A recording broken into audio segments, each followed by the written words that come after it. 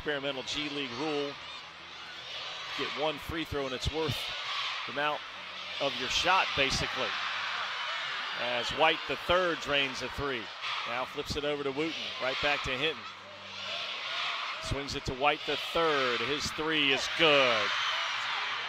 So he's got two triples. A little dribble handoff as he gives way to Zak Irvin.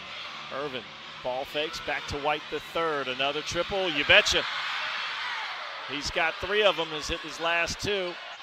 Six minutes left to play in the first. Peters splits the defense, kicks it out. Open three away and good by Andrew White. Being guarded by Dante Ingram, who just checked in. Top of the key. Three is good by White the third.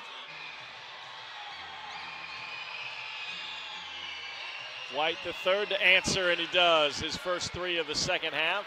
To hit straight on three ball is no good. Offensive rebound for the Knicks. They'll play again. Wide open. White the third. He won't miss that one.